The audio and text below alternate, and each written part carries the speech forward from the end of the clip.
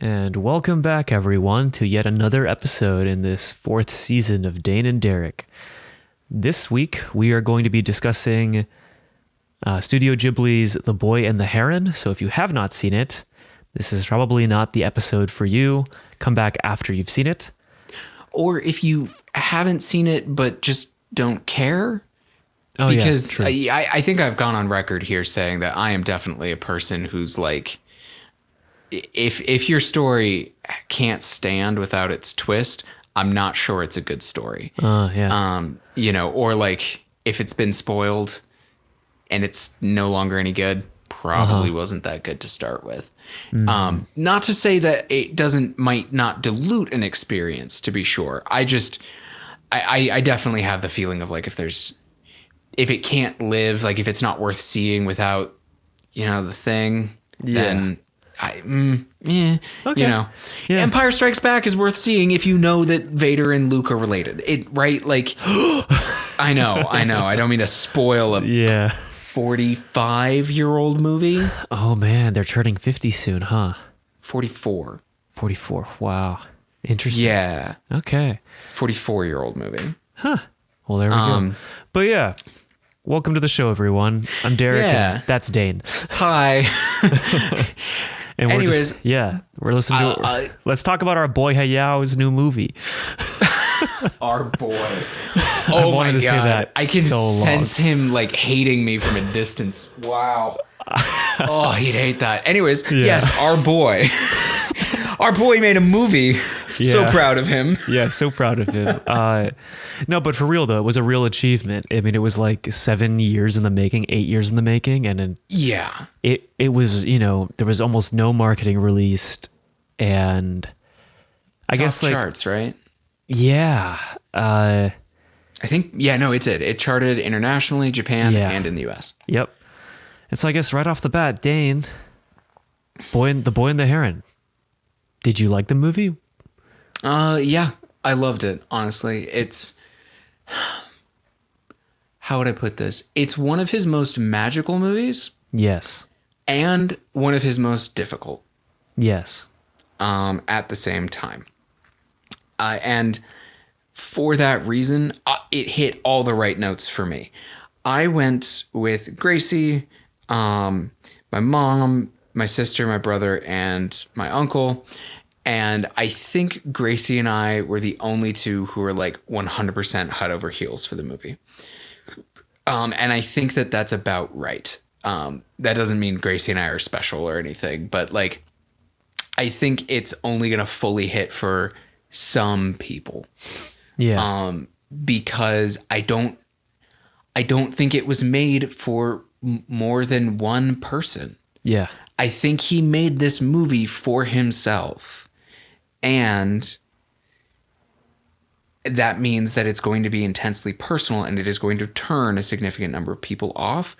Even if there's a lot of enjoyment to get, even if it's still not going to be your favorite of his or like it all that much, like I don't think anyone could argue that it's just drop dead gorgeous as per usual. But there were a couple scenes in there where I was like, oh, this is a special level of pretty.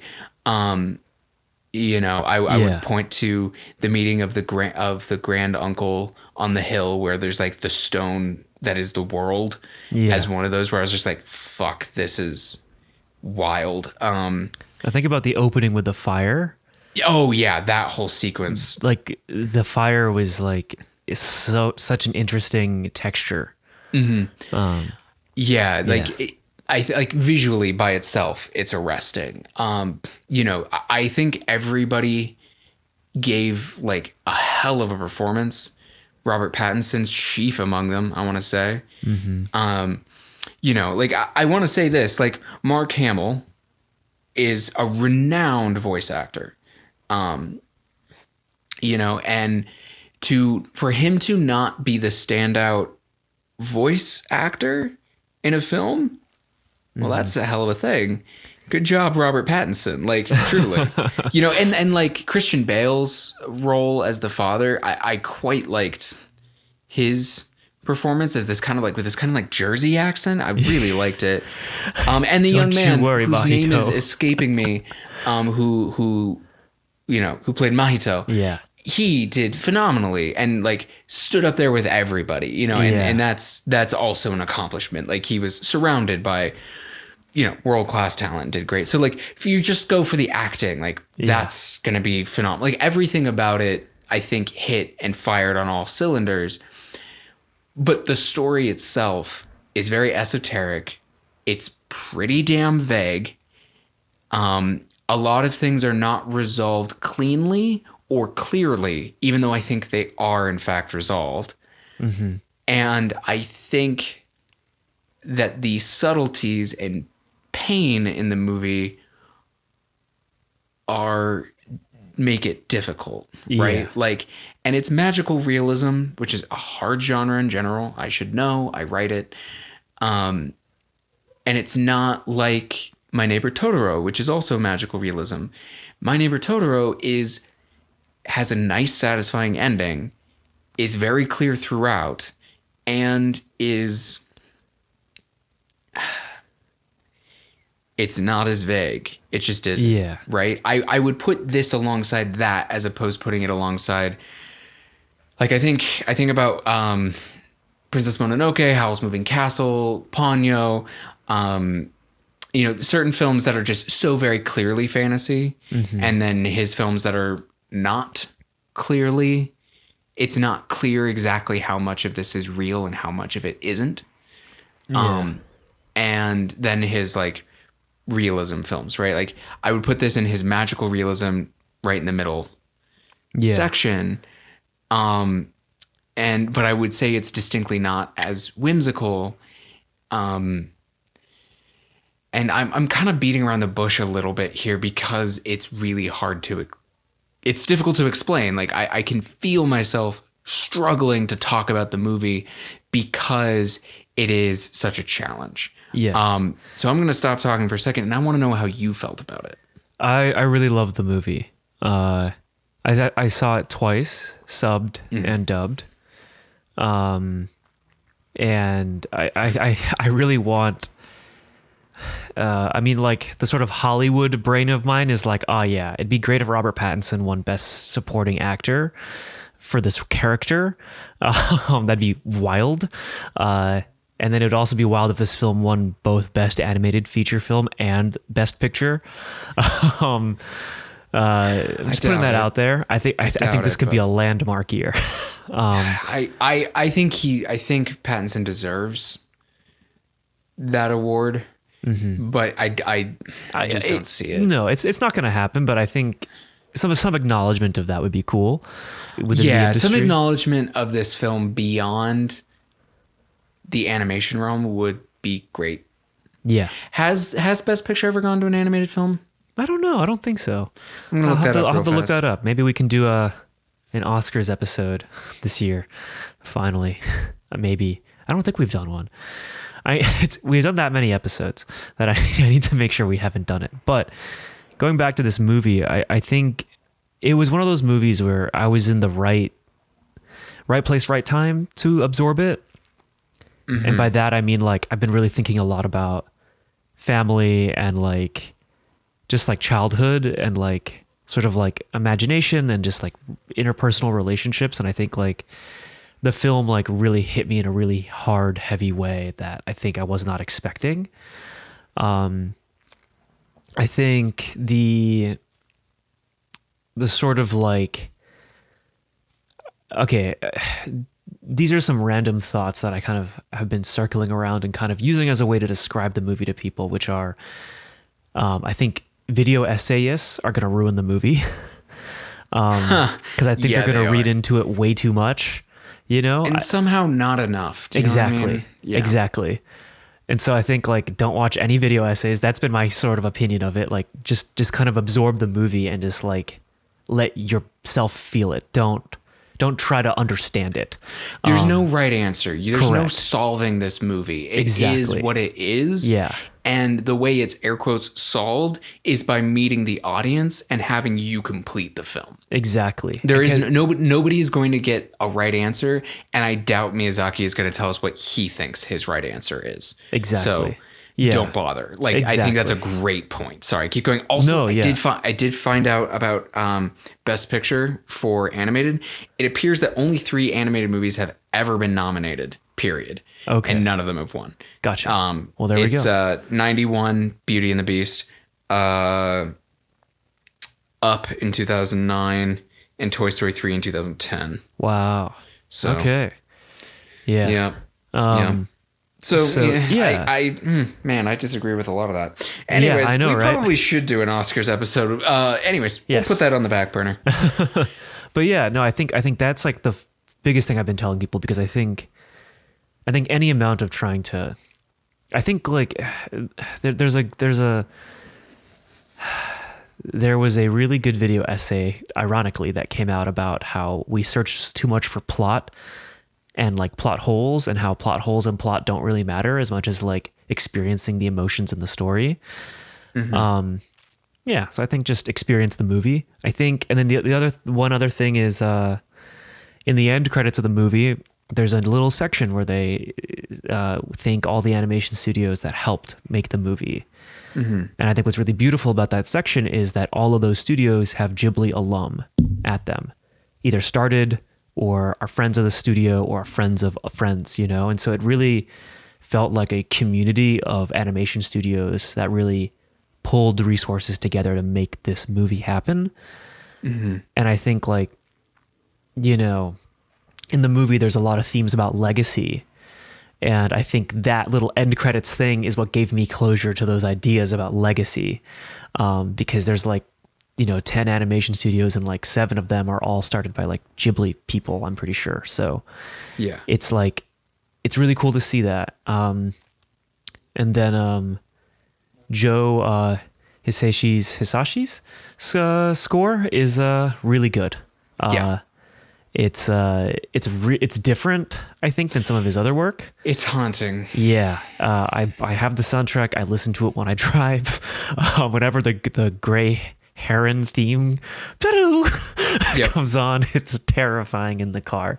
Um, but I don't know. I think, um, yeah, th- those are some uh, thoughts. I think there's also thoughts surrounding like, I think one of my favorite lines eh, in the dub is when Christian Bale says, "Don't you worry, Mahito. Daddy's gonna get vengeance on whoever did this to you." Um, it's Yeah. just I think the delivery on that line is really good, and it's like very. It just feels you can't help but like laugh at sort of this goofy dad who's trying to be so masculine and serious. Um, And then I think I I really um I don't know the fantastic stuff is is is great. I think the I think what I really loved is that the movie felt like an adventure. It felt like a Dungeons and Dragons adventure. It felt like a classic sort of like we're going on a quest to go do something movie, and I just feel like they don't really make a lot of those anymore. Um, in that in that sort of story structure, um, and I and I really enjoyed that, and uh, yeah, and I think like I think the big takeaway I had um, was just the sort of like uh, the like goodbyes element of it and how like it's a film about like it's a film about so many things but like there's one particular scene at the end where um Mahito and Lady Himi like say goodbye to each other and it's this like moment where you realize like oh like it's a you know like it's a mother and a son who didn't really get to spend too much time together in real life but they got to go on this wild adventure and got to spend that much time. And what's really tragic is he's gonna forget. They're both gonna forget. Um but yeah that was just like something that I, i've had sitting on my mind. I, I Um, think I think something about the film that's really important is that a lot is left implied. Yeah. Um like for a very long time if um if if at all if at all explicitly resolved that's one of them. Like lady himi is not dis- ex- explicitly said to be mahito's mother until very at the very end. Yeah. They don't actually confirm until then right? Yeah exactly. Um or like it takes a little while before somebody straight up says that um oh her actual name's escaping me but the uh mahito's uh stepmother is his mother's actual Sis- sister. Yeah, Natsuko. Yeah, Lady Natsuko. Yeah. Um, which uh that's loaded, right? Like when you when that clocks, like Mahito's very stiff and confusing interactions with her early on make a lot of sense, right? They they start making more sense because that's kind of like a like what a weird thing, right? Like like okay, this is not just my stepmom, but she's now with my dad. Was this like that's complicated? That's really complicated yeah, you know and then there's the whole part where she says she hates mahito mm-hmm. right and that doesn't get like it's never said that oh lady natsuko suddenly or or is now okay with mahito and is Right. over these like internal feelings of resentment that she clearly was like compressing right? Um but at the same time it's there's also this the the point at which like when does mahito stop referring to her as natsuko or the lady that my dad likes and starts calling her mother that's a very interesting change and it's never quite directly addressed yeah. but it's, very clear Yeah. you know Yeah, and I and yeah, and I and I think that's part of the beauty of this movie is that nothing's clear. You know, like everything like um you know, there's that whole thing in Princess Mononoke about seeing with eyes unclouded. Mm-hmm. You know, this whole movie requires you to really focus and like look at it without thinking about anything. Like, because I think the, you know, like you could look at it in the context of his life, his like Hayao Miyazaki's real life. You could look at it in context of animation or the studio or just like other world events. You know, and you could it draw. strikes it Yeah. strikes me as a meditation Yes. with a very straightforward story, right? Mm-hmm. Like you said, it's it's a very classic story. You know, it's go to the strange place and rescue the person. Yeah. That is that is a very classic story, mm-hmm. right? And it's a classic story that's very strong. Do you know what I mean? Like it's a really solid set of bones. It's not it's not groundbreaking, but it's a solid set of bones on which to then meditate on 10,000 things, Yeah. right? Like we haven't even talked about the fact that like the granduncle was like, "Hey, Mahito, come be God." Yeah. Right? Like Yeah. right? Like we've been focusing on other sub aspects Yeah. or I don't even know if I'd call them sub aspects. They're just different different areas to focus on. Yeah. And I would also love to throw out there that a lot of shots and a lot of um, moments have this indie film quality or this um, this very mature film style. Like there's the scene where Mahito gets into the fight and then he hits himself with the rock Yeah. right? It he doesn't explain why he hits himself with the rock. We don't get any monologue. We don't we, we are and and it's just like this like one hit and then like we kind of just like the blood comes and we just start moving on, right? Yeah. Um and the thing about that is that like we then learn later that he's lying, right? Like he did that to be like, "Listen, I fell. I I got hurt. Like I didn't get into a fight that I started or right like Yeah. and it's clearly a cover to protect the other boys from his father who he Uh-huh. Knows could make their lives hell Uh huh. right? Um, for any number of reasons. And there's also a subtext of is he just self harming because he's straight up d- depressed because his mother died? Right? Yeah. Like there's all these layers to it Uh huh. and it's not 100% clear and it doesn't need to be all all the things right like it doesn't need to be only one there and that's why the video essay thing like you said is a great piece of advice because there isn't a right answer Yeah. Right. There, there never will be. There never will be but i think it says a lot about it grants this immediate depth to the character that both makes him very relatable from a position of like of like wow that is a person in pain.